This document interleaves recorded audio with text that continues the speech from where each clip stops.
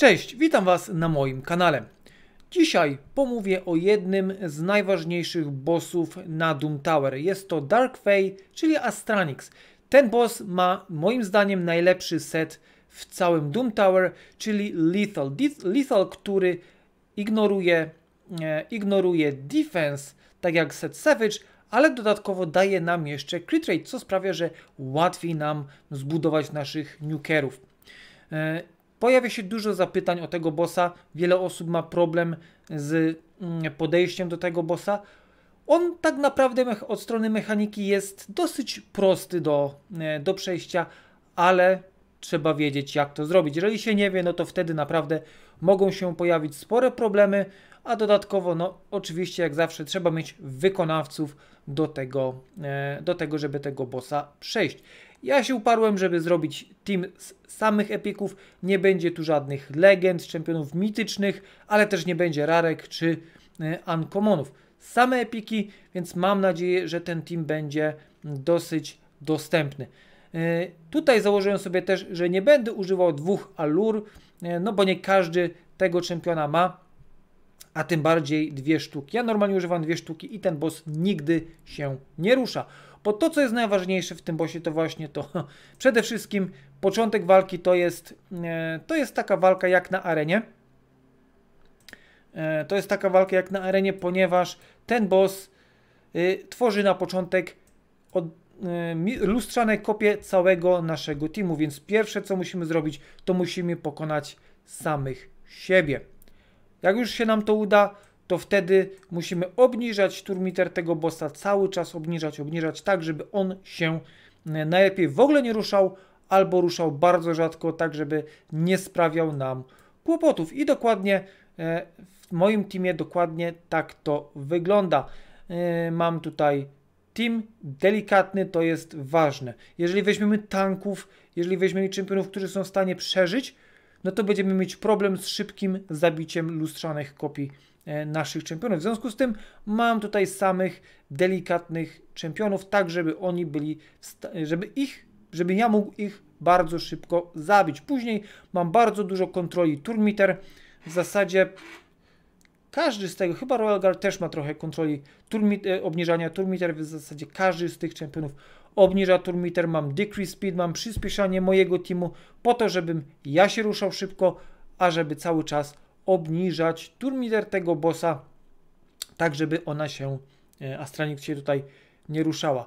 E, no i tutaj liczy się też skuteczność tego teamu. Tak, nie musi to być team stuprocentowy, no bo na, e, na Doom Tower używamy kluczy, kluczów, nie musimy zużywać energii, więc to czy raz, dwa na te 10 czy 2 na 15 kluczów yy, przegramy, nie ma większego znaczenia, wystarczy 80-90% skuteczności i spokojnie możemy sobie radzić. Także to jest mój team. Mam tutaj Deacon Armstronga na liderze. On mi daje aurę, zwiększa speed wszystkich moich czempionów, ale też e, może przejdźmy do e, tutaj od razu będę pokazywał jak ten team jest zbudowany, więc zacząłem od Deacona.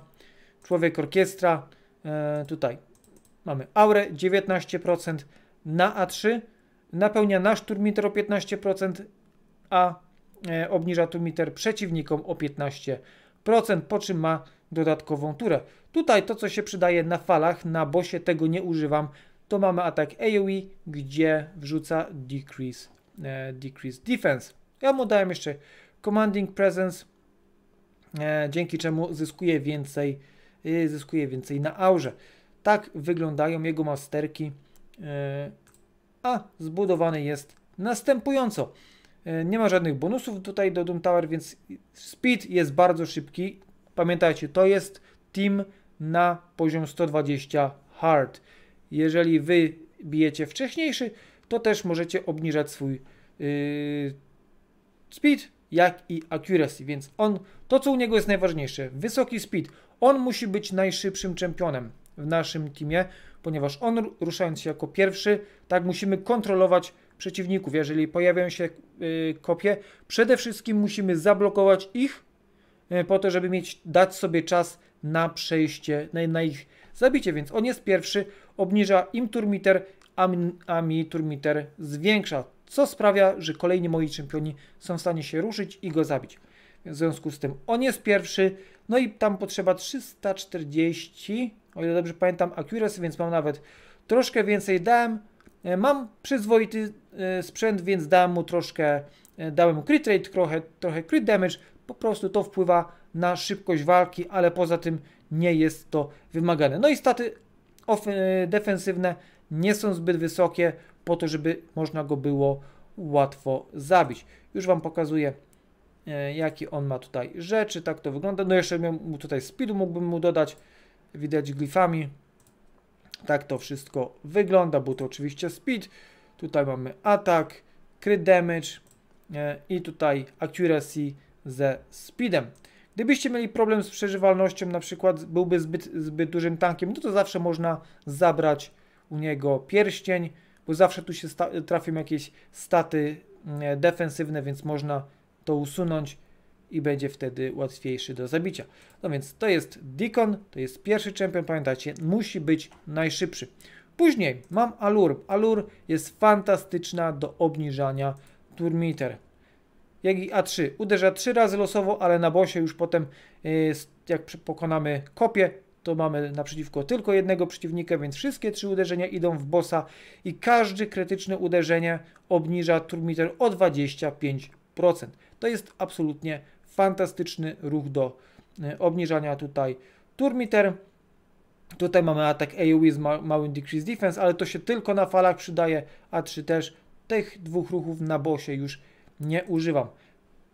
O, no ona akurat nie ma nawet masterek tutaj zrobionych, yy, ale masterki można by, potem pokażę Wam u Rueli, takie same można by dać jej.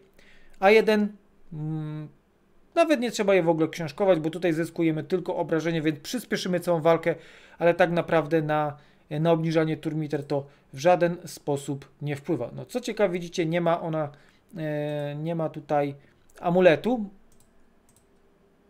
Mm, pewnie przez przeżywalność, tutaj mógłbym w zasadzie, gdybym preferował, to bym usunął, e, usunął e, pierścień, a dał amulet, dlatego że na amulecie mamy przecież accuracy, którego potrzebujemy, a skoro ona musi mieć 100% e, crit rate, to można dać jej tutaj crit damage i zawsze będą to mocniejsze ataki.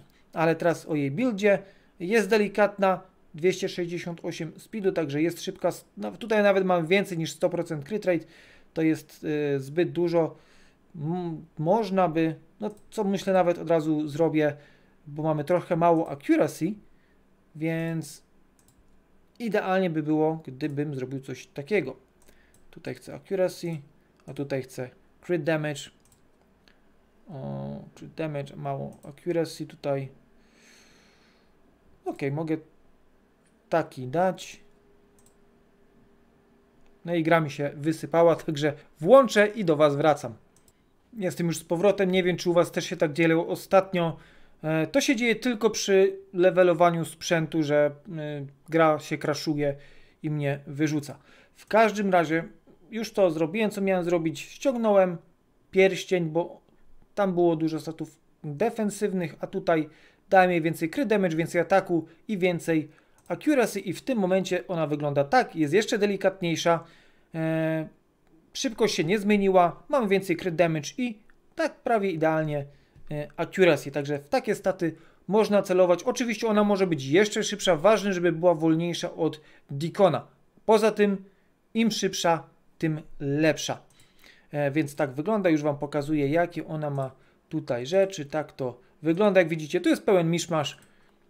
Rękawice crit rate, bo to, co jest ważne, musi mieć 100% crit rate. Musi. Bez tego nie będzie spełniać swojej roli. Tutaj no widać, jeszcze ją mogę przyspieszyć. E, buty oczywiście speed, już Wam pokazywałem ten e, amulet i tutaj accuracy, widzicie staty defensywne nigdzie e, tutaj nie dawałem już potem bonusów, więc to jest alur. Tutaj można by wykorzystać dwie takie panie, wtedy boss w ogóle by się nie ruszył, ale ja się uparłem, że nie chcę dwóch alur wykorzystywać, W związku z tym do teamu trafiła Ruella. Bardzo lubię tą panią. Fajny, naprawdę fajny czempion i fajnie, że ją mogłem wykorzystać. O tutaj widzę, że troszkę błąd popełniłem, ponieważ nie chcę używać reaction, no bo to sprawia, że ktoś może przeżyć. E, więc pomijając reaction, mm, wygląda to następująco. Też jest delikatna, ona też zależy mi na obrażeniach, więc dostała dużo crit damage, ma 100% crit rate, dużo crit damage, odpowiednia accuracy i jest y, bardzo szybka, 272 speedu, więc tak ona wygląda. Y, tutaj jeszcze można by ją przyspieszyć, jak widać. No tutaj mamy crit rate, atak, y, no bo albo accuracy, albo atak. Nic ani HP, ani defensu nie chcemy. Buty speed, no i tutaj trochę ataku, no można by to wymienić, bo raz, że reaction y, nie jest najlepszy. Y, tutaj mamy crit damage z atakiem, trochę accuracy, no i tu oczywiście accuracy z atakiem i speedem, więc tak ona generalnie wygląda. To są jej masterki. Gdybyście dawali y, al, poprzedni alur, no to takie same można by jej dać. Więc to jest i tak, jeszcze nie powiedziałem, co ona potrafi. Tak, na A1 atakuje 3 razy i każde krytyczne uderzenie, więc też jest ważne, żeby miała 100% crit rate. Ma 100% szans po wyksiążkowaniu na kradzież 5% turmiter, więc nie dość, że obniża turmiter bossa, to jeszcze przyspiesza sama siebie. Na A2 atakuje też 3 razy. Tutaj mamy 75%, dobrze mówię? Nie, nawet 70% szans, nie 75%. E, na wrzucenie Decrease Defense, Weaken i Decrease Speed.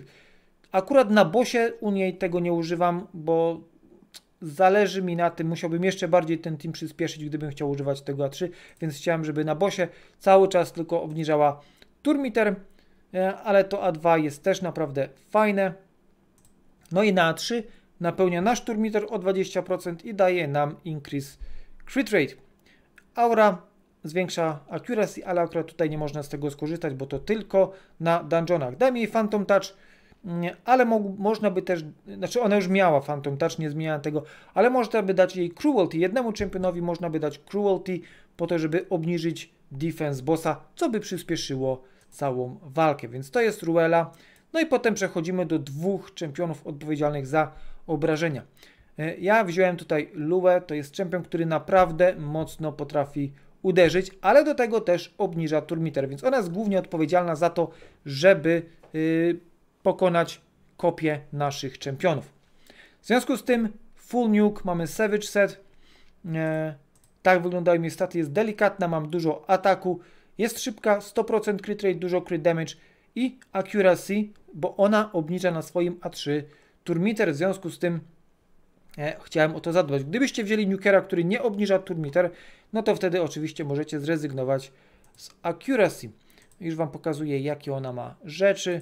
Tutaj Savage albo Lethal jest e, ważne po to, żeby szybko przebić się przez e, kopię. Już mamy crit damage, buty speed, no i biżuteria, tutaj głównie atak, atak crit damage accuracy, no i tutaj accuracy ze statami e, ofensywnymi i speedem.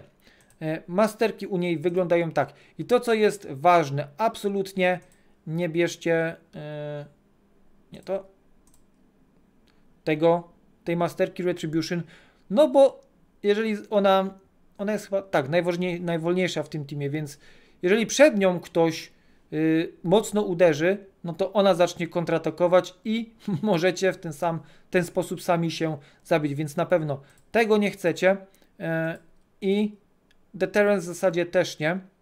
Zwłaszcza jeżeli używacie jakichś debuffów do kontroli. Wtedy też możecie sprowokować kontratak. Tego nie chcecie absolutnie e, robić, więc tak wyglądają jej mm, masterki. I co ona robi? Na A1 atakuje jednego przeciwnika, ale jak, jeżeli to jest krytyczne uderzenie, to 50% zadanych obrażeń idzie pozostałym. Tutaj mamy duży atak AoE. Uderza wszystkich trzy razy i za każde krytyczne uderzenie się leczy, więc od tego zaczynamy walkę z bossem, żeby pozbyć się e, kopii. No i na A3 atakuje jednego przeciwnika. obniża turmiter o 100%, do tego ignoruje shield i block damage, to akurat nie ma znaczenia na bossie, ale to obniżanie turmiter już jak najbardziej. Yy, tak, ona u mnie miała Heavencast, aczkolwiek to się nie przydaje, bo nie mam żadnych buffów w tym teamie, e, więc można by jej dać sobie może, yy, Cruelty na przykład można by jej dać, albo jak już macie to Phantom Touch, yy, wtedy E, wtedy są zawsze dodatkowe obrażenia. No i Royal Guard na koniec. To jest czempion, który ma zadawać najwięcej obrażeń bossowi. Już Wam pokazuję jego staty. Też jest delikatny, ale mamy dużo ataku, jest szybki, 100% crit rate, dużo crit damage, no i przyzwoity accuracy. Z tego względu, że potrzebujemy jego decrease defense na A1. E, tutaj mamy oczywiście duży atak max HP i tutaj wrzuca decrease speed i, i tak, i ma szansę na obniżanie turmiter, dobrze pamiętałem, więc to też jest bardzo ważne. Decrease speed i obniżanie turmiter bardzo ważne. E, masterki u niego wyglądają tak i jeszcze pokażę Wam, jakie on ma e, tutaj rzeczy na sobie. Rękawice, no akurat, no tu jeszcze mógłbym dołożyć speedu, więc jest jeszcze e, opcja do tego, żeby rosnąć. Jak widzicie, pięciogwiazdkowe rzecz, rzeczy, także to jest coś, co każdy może mieć. Buty speed, no i tutaj tak wyglądają. E, pierścień, to, że to jest protection nie ma znaczenia. Tutaj crit damage z atakiem accuracy, to jest najważniejsze i tutaj accuracy ze speedem i trochę ataku. Więc tak wygląda cały team. Pokażę Wam jeszcze ustawienie tego teamu, bo to jest y, ważne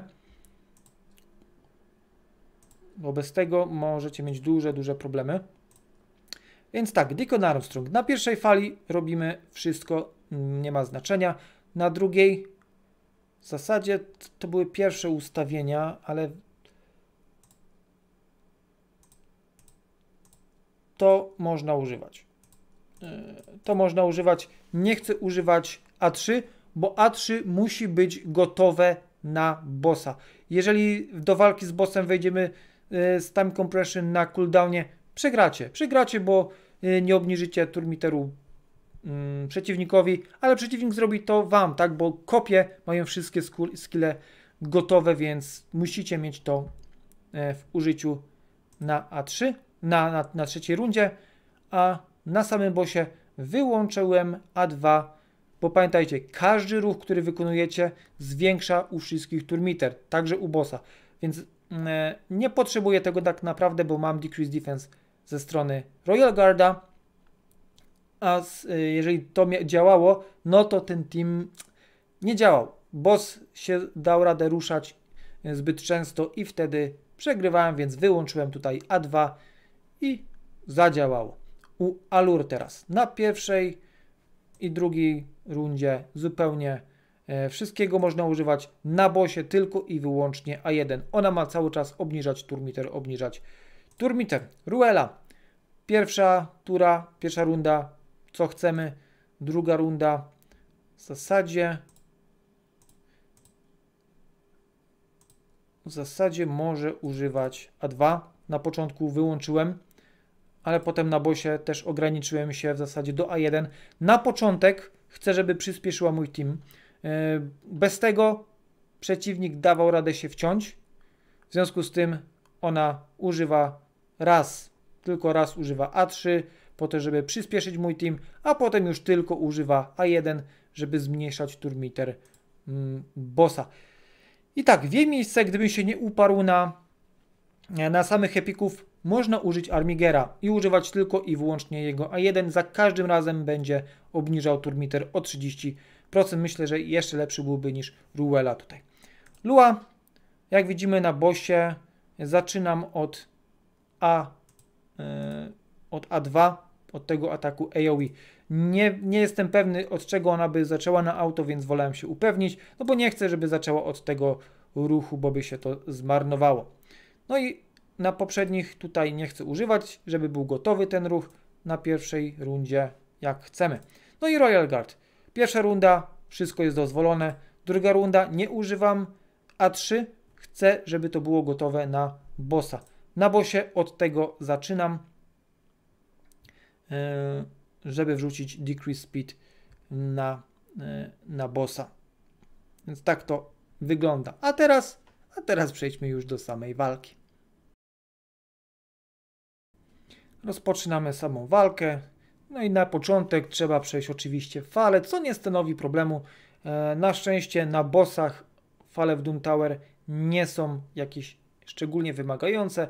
Pierwsza fala w 9 sekund, druga, e, druga troszkę dłużej, no bo tutaj oszczędzam A2 luły, więc yy, nie zabiję ich. Tak to by przeszła ekspresowo też tą falę, ale w związku z tym, że wyłączyłem, żeby mieć gotowe na bossa, to trwa to troszkę dłużej. To jeszcze jest poprzednio ustawione, gdzie nie używałem też Decrease Defense Dicona. Gdybym używał to przeszedł, to by potrwało to e, dużo szybciej, ale w 38 sekund jesteśmy na bosie. No i teraz tak, yy, tutaj może się chwilkę cofnijmy. Początek walki i tak, żebym wytłumaczył. Pierwsze co się dzieje, rusza się Dikon i zmniejszył, jak widzimy po napisach, zmniejszył turmiter przeciwników i przyspieszył mój team. To już daje mi przewagę e, i kolejni moi czempioni mogą się ruszyć, bo gdybym tego nie zrobił, no to Deacon przeciwnika ruszyłby się e, momentalnie jako e, po, mo, po moim Deaconie, tak, bo my ruszamy się jako pierwsi tylko dlatego, że atakujemy, bo staty wszystko jest dokładnie takie same, więc tutaj już mam przewagę. Teraz Ruela jeszcze zwiększyła mój turmiter, dzięki czemu E, jeszcze bardziej zyskałem nad, e, nad przeciwnikami. No i teraz Alur swoim A1 e, Royal Guard rzucił Decrease Speed, weszło na bossa, także idealnie. I teraz Lua zmasakruje te lustrzane kopie. Trzy uderzenia i ich nie ma. Tutaj akurat boss dał radę się ruszyć, ale ekspresowo pozbyłem się tej jeszcze kopii przeciwnika, u przeciwnika kopii Luły i jesteśmy już na bosie. W tym momencie najważniejsze jest to, żeby jak najlepiej kontrolować tego bossa. Mam na nim Decrease Defense Royal Guarda, mamy Leech, dzięki czemu jestem w stanie się podleczyć, no bo ten boss jednak da radę się e, chyba dwa razy ruszyć w ciągu tej walki, więc fajnie się jest podleczyć. No i mamy Decrease Speed. No i patrzcie jak ładnie obniżam turmiter. Trzy ataki Rueli, obniżamy potem trzy ataki E, ze strony Allure i ona też obniża. Co 4 tury do tego dochodzi Lua swoim A3 i Royal Guard swoim też A3. No, teraz no już było blisko. I zobaczmy, boss pewnie zaraz się ruszy. Ale to nie jest problem. Mimo, że to jest delikatny team, to jest na tyle wytrzymały, żeby takie uderzenie przeżyć. No i w tym momencie możemy dzięki liczowi się zregenerować dalej, opóźniając ruch bossa. Kolejny takedown, kolejny duży kawałek HP e, zniknął. Ponad połowa już e, przeszła. Gdybyście mieli na przykład bardzo dobry set e, Reflex, no to można go założyć Royal Guardowi wtedy e, do tego Refresh Accessories i wtedy mógłby częściej używać swojego e, A2 a 3 zresztą też, przez co sama walka byłaby szybsza. To samo, no chociaż nie, u Lua raczej niech ma ten Savage albo Lethal, żeby bez problemu pozbyć się e, tych kopii. No widzimy, tu już chyba 1 trzecia tego HP została, cały czas ładnie, bardzo ładnie obniżam turmiter. No ale boss cały czas się zbliża, widzimy, powoli się zbliża do tego, żeby się ruszyć. On jeszcze raz tutaj się ruszy, ale ja już się zdałem radę podleczyć na tyle, żeby to nie było problemem. No i teraz już ostatnia prosta, kolejny takedown. Niewiele tego HP u bossa zostało. I teraz już nie ma opcji, nie da rady się ruszyć. W zasadzie czekamy na Royal Guarda, aż znowu będzie miał A2 gotowe i zakończy tą walkę. To za chwilę powinno nastąpić. No, jeszcze nie teraz. No i cały czas co? Obniżamy to turmiter, obniżamy i teraz takedown. I po sprawie boss nie żyje. 3 minuty 36 sekund, także czas nie jest jakiś tam najgorszy. Można spokojnie takim teamem tego bossa e, tego bossa farmić. Mój najszybszy czas jest tutaj o niecałą minutę lepszy, ale używam tam zamiast Dikona Lisandry. Ona jest e, no, takim Dikonem na sterydach, jeśli chodzi o, e, o tego bossa. Mam dwie alur, więc tam boss się w ogóle nie rusza. Mm. Teraz kurczę, Lua, Lua tam nie jest używana. Kogo ja używam?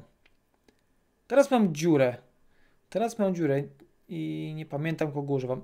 Chyba Cold Heart. Możliwe. W każdym razie e, widzimy główne obrażenia 1 700 ze strony Royal Guarda, Ruela 650 tysięcy dodała, Lua 788, e, tych dwóch e, Alur i Deacon 200 e, z małym hakiem. Także fajny team, same epiki. Za Ruel, jak mówię, można użyć Armigera spokojnie. E, za Luę Cold Heart na przykład można tutaj wrzucić. Mam nadzieję, e, że tutaj e, za, weźmiecie inspirację i będziecie mogli tego bossa przejść, jeżeli mieliście z nim problemy.